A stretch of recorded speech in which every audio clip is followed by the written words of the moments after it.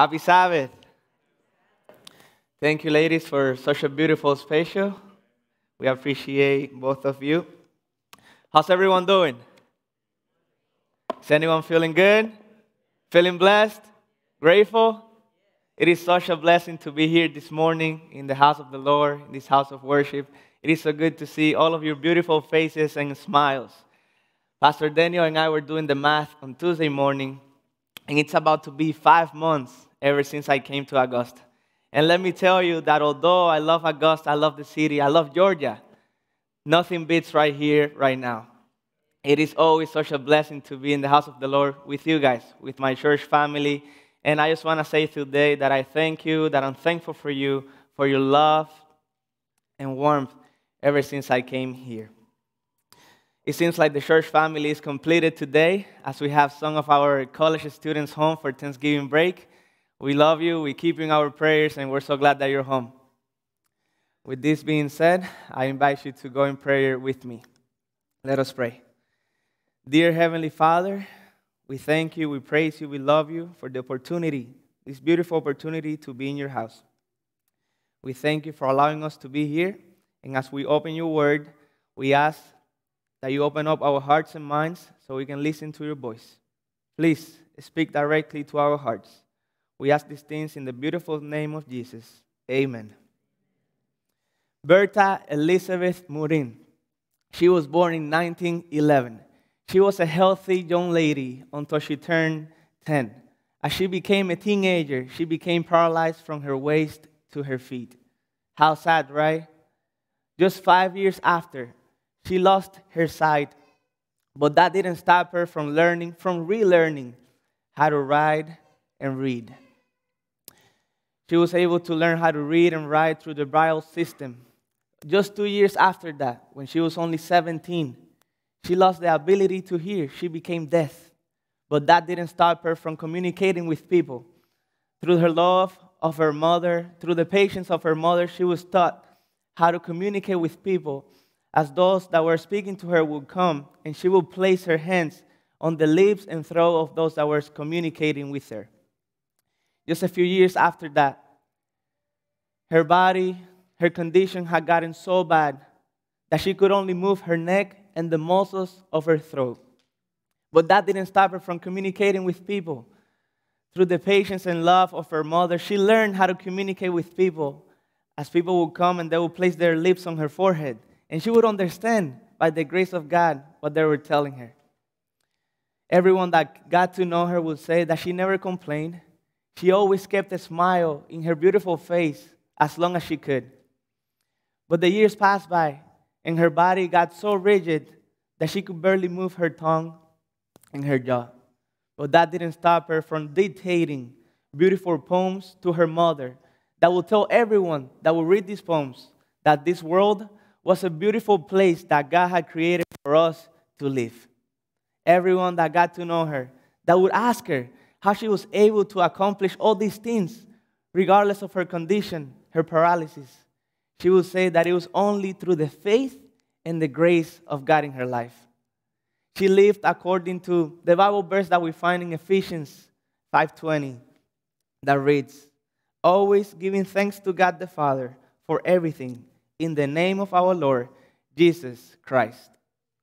One of my professors in the university will always tell me that life is a miracle that we can only see when we put on the glasses of gratitude. Life is a miracle that we can only see when we put on the, the glasses of gratitude. When we read the epistles that were written by the Apostle Paul, we see how he always encouraged everyone to give thanks to God in all circumstances. Regardless of what was going on in their lives, Paul always encouraged everyone to give thanks to God, to praise Him, to rejoice always, to continue praying for one another in every circumstance. Perhaps the most demanding one is found in 1 Thessalonians, and I invite you to go with me to 1 Thessalonians chapter 5, verse 18. And there we will see how Paul encouraged everyone to give thanks to God, to praise Him at all times. 1 Thessalonians 5:18 reads, "Give thanks in all circumstances, for this is God's will for you in Christ Jesus. Today, as we open the Word of God, as we discover through this Bible verse, as we see how Paul encourages everyone to rejoice always, to pray for one another, to give thanks in all circumstances, we're going to discover and study together three big things. The first one, the big challenge. Would you agree with me if I tell you that giving thanks to God in every single circumstance, in every single circumstance, is a challenge? Would you agree with me? Or is that something that is easy for you to do? In reality, giving thanks to God in all circumstances becomes a challenge, a big challenge for all of us at some point in our lives. I constantly run into people that tell me, Pastor, it would be so much easier to give thanks to God in all circumstances if I had the financial stability that the people next to me have. Pastor, it would be so much easier to give thanks to God in all circumstances if I wasn't struggling in school, if I would be getting the grades that I'm aiming for. It would be so much easier to give thanks to God in every circumstance if I was being as blessed as my family in church. Pastor, it would be so much easier to give thanks to God if my mom wasn't struggling, battling with cancer at home. Pastor, it would be so much easy if everything was going well for me. And that is right. But oftentimes, when we're being blessed by God, when we're being prospered by God, the enemy is when he attacks the most. Just think real quick about this, the life of Joseph. He makes it to Egypt. He was sold as a slave by his brothers. And when God was blessing everything that he did, when he was being prospered by God, the enemy will come after him every single time. And that oftentimes happens in our lives. And the enemy attacks us and brings difficult circumstances into our lives. Someone this morning could say, Pastor, bear with me. Put yourself in my shoes. How can I give thanks to God when my kids have gone stray? Pastor, how can I give thanks to God when I'm struggling with depression and anxiety? When I spend so many hours studying and then I don't get the grade that I deserve? Pastor, how can I give thanks to God if I'm battling with this illness? How can I give thanks to God in this financial setback that I'm having? How? How can I give thanks to God? As we open the Word of God, as we read different stories, we see how we're able to give thanks to God in every circumstance. This morning, I want to tell you that we're going to be able to give thanks to God in every circumstance as we invite Him into our difficulties. You'll be able to give thanks to God in all circumstances as you invite Him into your difficulties, into your bad times. Most of the time, we're praying, God, get me out of this trouble at work. God, Get me out of this situation that I'm going through right now. God, get me out of this financial setback that I'm having. And there's nothing wrong with that because we can always count with God's help. Amen? But today I want to tell you that before you get out, you must invite God in. Because sometimes the miracle is not in getting out, but what God is going to do through that situation. Instead of just praying, God, get me out, why don't we start praying, God, come into this hospital room as I take this treatment.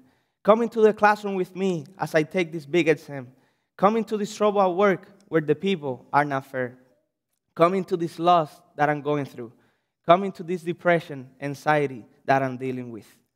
What's more powerful than God bringing you out of a bad circumstance is when God comes in and begins to change things. He comes in and He gives you a strength that you cannot explain.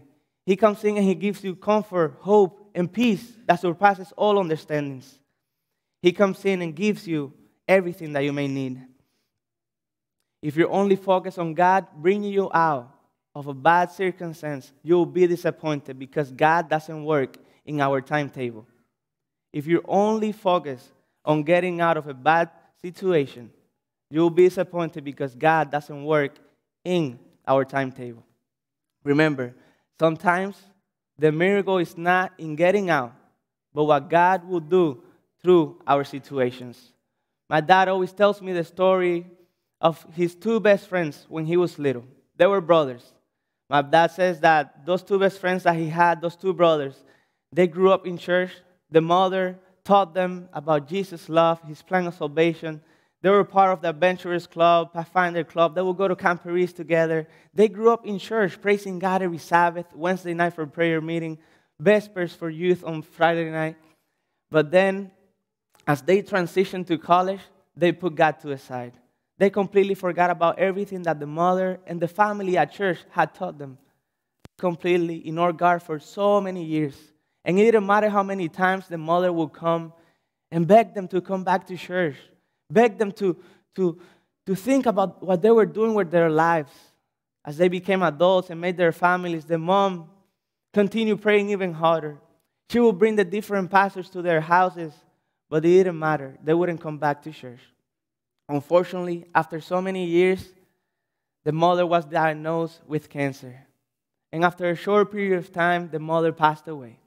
At the funeral, those two brothers were hopeless. They were devastated. They couldn't stop crying. They continued crying on each other's shoulders because they knew that they had not responded to the invitation that their mother had made them for so many years. As the pastor was speaking in the funeral, as he made an appeal, the Holy Spirit touched their hearts, and their hearts were softened at that time. They looked to each other and they decided to invite God into their difficulties, into that situation, that moment that they were going through. At that time, they decided that they didn't want to say goodbye. They wanted to say, Sleep in peace. We'll see you when Jesus comes back for us. At that time, later that day, I could see the family members praising God, not because of the loss that they were going through, because of the miracle that God had performed through that situation. Do you see the miracles that God performs when we invite Him into our difficulties? Will you invite God today into your difficulties? As you do this, you will see how He comes in and He begins to change things. As you invite God into your difficulties, you will see how you have rest, how you have peace, because God will come in. You will know that He's in control. You will know that He's guiding your steps, and eventually, He will put you where you're supposed to be. When you ask God to come in, you're saying, God, don't just change the circumstances, change me. And it is sad that it oftentimes takes for something bad to happen for us to recommit ourselves to Jesus Christ. This morning, I want to encourage you and invite you to give thanks to God in all circumstances and not just wait to commit your life to Jesus when bad times come around. This morning, I want to remind you that there are two good times to praise God during the good and bad days because there is never a bad time to praise God. And that is something that Paul had to learn himself through the experiences that he lived through in his ministry and life. When we go to the Bible in Acts chapter 16, we see how Paul and Silas were going into Philippi. They were doing God's work. They were fulfilling the Great Commission. They were doing His work. They were healing people, bringing hope through the good news of salvation, removing demons out of people. But the Bible tells us in Acts chapter 16, and I invite you to go with me to Acts chapter 16. We see how the city became agitated. They were attacked and thrown into prison. But this morning, we're not here to listen to my Cuban accent. We're here to read God's word. So go with me to Acts chapter 16, verses 22 through 24. Acts chapter 16, verses 22 through 24. And he reads The crowd joined in the attack against Paul and Silas, and the magistrates ordered them to be stripped and beaten with rods. After they had been severely flogged, they were thrown into prison, and the jailer was commanded to guard them carefully. When he received these orders, he put them in the inner cell and fastened their feet in the stocks. But these missionaries, Paul and Silas, did not get discouraged because they knew that God was in control. They did not wait until the bad time came around for them to invite God into their lives. Therefore, they knew that God was in control, that, that He still had a purpose for them. And they knew that it, they, they knew that if they would give thanks to God in that circumstance, God would show up and perform a miracle. When we go back to the story, verses 25 through, through 34, we see the miracle that God performed that night. It would have been so easy for them to question God, as we oftentimes do when we face a difficult time in our lives. But that's not what they did. They decided to give God worship and praise Him at midnight. Let us read together. Verse 25. About midnight, Paul and Silas were praying and singing hymns to God, and the other prisoners were listening to them. Suddenly, there was such a violent earthquake that the foundations of the prison were shaken. At once, all the prison doors flew open, and everyone's chains came loose. The jailer woke up, and, as, and when he saw the prison doors open, he drew his sword and was about to kill himself because he thought the prisoners had escaped. But Paul shouted, Don't harm yourself. We are here. The jailer called for lights, rushed in, and fell trembling before Paul and Silas. He then brought them out and asked, Sirs, what must I do to be saved? They replied, Believe in the Lord Jesus, and you will be saved, you and your household.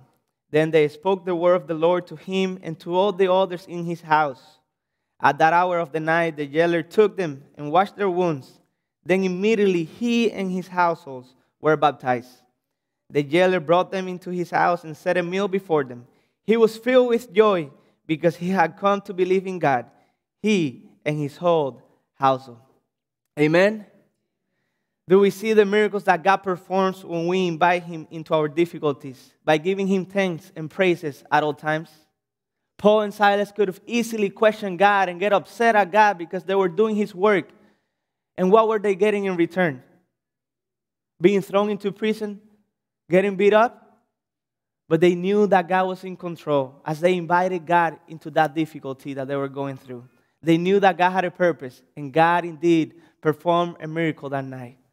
Do we see the miracles that God performs when we invite Him into our lives? Not only the prisoners were able to listen to the good news of salvation that night, to the praises that they were singing, but a whole family was saved for God's kingdom. Amen. Romans 8:28 gives us a beautiful promise that God always keeps. Romans 8:28 tells us, and we know that in all things God works for the good of those who love him, who have been called according to his purpose. I ask you this morning, would you decide today to invite God into your difficulties? Would you praise him? Would you give him thanks in all circumstances? As that is God's will for our lives in Jesus Christ. This is a decision that we must make this morning as a family, a personal decision that we must make to give God thanks in all circumstances, for that is His will for our life in Jesus Christ. As 1 Thessalonians 5 tells us. This morning, I tell you that it should be our desire to praise God, to give Him thanks for His will to be done in our lives. And we will see His hand working through every situation. At this moment, you may think, about many Bible characters that made the decision to give thanks to God in every circumstance. And this morning I want to talk to you about Daniel. When we go to the book of Daniel, chapter 6, we see how a decree was signed that anyone who prayed to God would be thrown into the lion's den. And what did Daniel do? What decision did he make? Let us go together to the Bible and see what he did. Daniel chapter 6, verse 10 reveals to us that for Daniel, it was his desire for God's will to be done in his life. Daniel 6, chapter 10, it reads Now, when Daniel learned that the decree had been published, he went home to his upstairs room where the windows opened towards Jerusalem. Three times a day he got down on his knees and prayed, giving thanks to his God, just as he had done before. Daniel at that time had the freedom to make a decision that would save his life for sure. He knew that a decree had been signed, but that didn't stop him from being a faithful follower of Jesus Christ, from desiring for God's will to be done in his life. That day, as Daniel prayed to God, as he was his custom, he did as the psalmist said in Psalms chapter 40, verse 8 I desire to do your will, my God. Your law is within my heart. That day, the beautiful promise that we find in Deuteronomy 31a became a reality in Daniel's life. It reads, The Lord Himself goes before you and will be with you. He will never leave you nor forsake you. Do not be afraid. Do not be discouraged. As we go back to Daniel chapter 6, we see how God always fulfills His promises. Let us read together verses 19 through 22. Daniel 6, verse 19 through 22.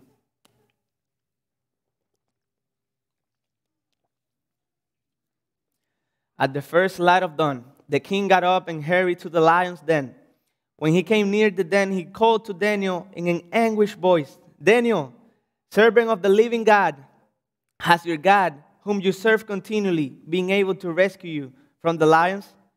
Daniel answered, May the king live forever. My God sent his angels, and he shut the mouth of the lion. They have not hurt me, because I was found innocent in his sight, nor have I ever done any wrong before you, your majesty. Some God, sometimes God is not bringing you out just yet because he wants the odds to be against you in a bigger way. So when he actually brings you out, it will be a greater miracle. When we, when we go to verse 25, we see the miracle that God performed that day. It says in verse 25 through 28 Then King Darius wrote to all the nations and peoples of every language in all the earth May you prosper greatly. I issue a decree that in every part of the kingdom, people must fear and reverence the God of Daniel, for he is the living God and he endures forever. His kingdom will not be destroyed his dominion will never end. He rescues and he saves. He performs signs and wonders in the heavens and on the earth. He has rescued Daniel from the powers of the lions. So Daniel prospered during the reign of Darius and the reign of Cyrus and the Persian. Here we see, through the faithful decision that Daniel made in his difficulties, that God showed up because God always fulfills his promises. I tell you once again, sometimes the miracle is not in getting you out, but what God will do through that situation. God will not keep us out of every fire, but He will make sure to be in the fire with us. When we think about Daniel's friends, the three Hebrew teenagers, the king said, You will bow down to my image, to my statue. And they refused. So he got furious and said, warm up the furnace seven times hotter, to the point that the people who did his command were burned immediately. As the king threw them into the fire furnace, he saw he saw four people and he said, Did we not throw in them just three? And one of them looks like the Son of Man. When they were when they came out, they did not even smell like burn. Because God was in the furnace with them. God will not keep us out of every fire, but He will make sure to be in the fire with us. Sometimes the miracle is not in getting out, but what God will do through the situation. Without a great test, you won't have a great testimony. And God wants all of us to have a great testimony, a strong faith, so we can share with others the goodness of God in our lives. Without big battles, we won't see big victories. And oftentimes, when God fights the battles for us, we forget to give him the glory he deserves, the glory that he only deserves. Because as we know, he always fights our battles as long as we invite him in, and then he gives us the victory. As God comes through for you all over again in your life, as you see his hand working miracles for you, don't ever forget to give him the praise that he alone deserves. This is where King Nebuchadnezzar got, of course. When we go to Daniel chapter 4, verses 2 to 3, we see where King Nebuchadnezzar got of course. So go with me to Daniel chapter 4, verses 2 to 3.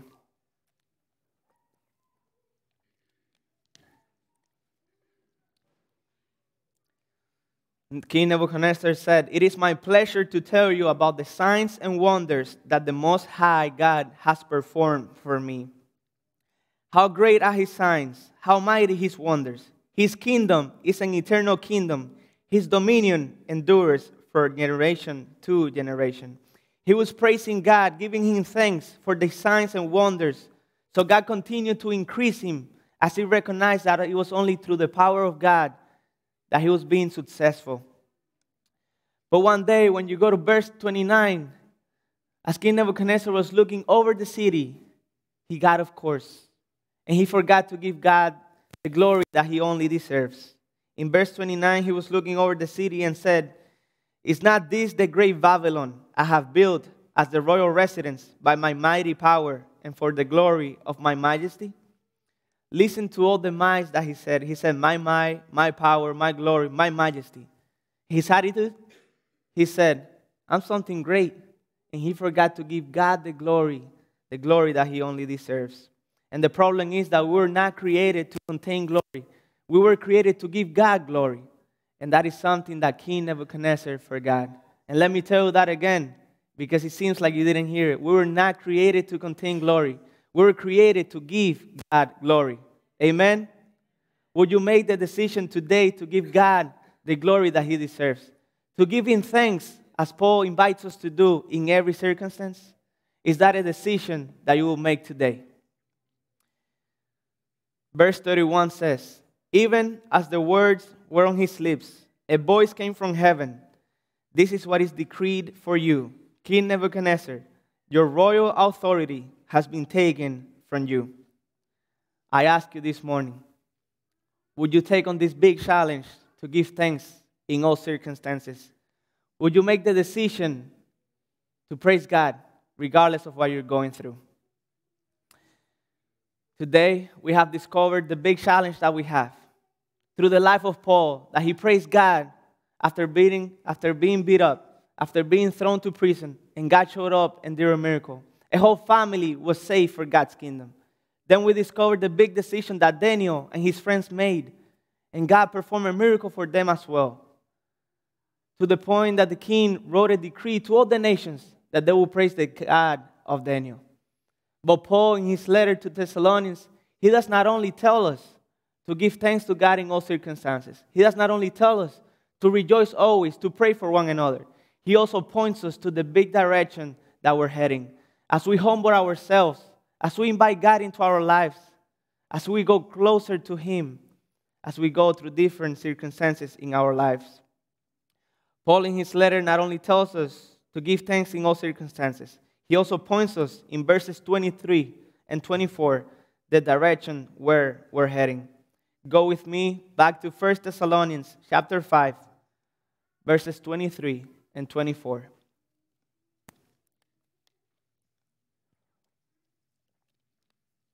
And he reads, May God Himself, the God of peace, sanctify you through and through. May your whole spirit, soul, and body be kept blameless at the coming of our Lord Jesus Christ. The one who calls you is faithful, and he will do it. Amen? The direction we take for our lives is marked by our priorities. And I tell you this morning, prioritizing gratitude will make us fit to meet Jesus and receive the crown of eternal life from his hands. Paul, in this letter, that not only tells us to rejoice always, to continue praying for one another, to give thanks in all circumstances, for that is God's will for our life through Jesus Christ. But he also tells us the direction where we're heading as we fulfill, as we take on this big challenge, as we make the decision to praise God through it all. Hebrews 12, verse 28 tells us, Therefore, since we are receiving a kingdom which cannot be shaken, let us have grace by which we may serve God acceptably with reverence and godly fear. Last Sabbath, we wrapped up the, prophecy, the prophecies seminars that we were having here at church. As we discovered through six weeks the beautiful prophecies that God has for us to bring us hope so we cannot be left in the darkness, so we know what's taking place in our society. We saw how God is soon returning for you and for me, and He desires for you and for me to be ready for that glorious day. And Paul in this letter tells us that as we give thanks to God in all circumstances, as we fulfill His will being done in our life, as we desire for His will to be done in our lives, as we praise Him through it all, we'll be able to receive the crown of eternal life on the hands of Jesus. God desires for us to be ready for His soon return, but He also wants us to put in practice what we have learned today, to put in practice gratitude, to always show that we're grateful to God for His goodness, for His mercy, for His grace. So, this morning, if you want to make the decision, if you want to take on the challenge of giving thanks to God in all difficulties, as you praise Him, as you invite Him into your difficulties, I invite you to stand up so we can do a gratitude activity at this moment. So I'll read a few statements, and after every one of them, we'll say together, Thank you. Okay? Dear God, for the gift of salvation, we say, Thank you. For your unconditional love, we say, Thank you. For your grace and mercy in forgiving our sins, we say, Thank you. For the Word of God, we say, Thank you. For the freedom we have, we say, Thank you. For turning our tears into happiness, we say, Thank you. For performing miracles in our lives, we say, Thank you. For our family, children, spouses, we say, Thank you. Thank you, Lord. I ask that you stand remaining, that you stay standing so we can sing together hymn 565 for the beauty of the earth.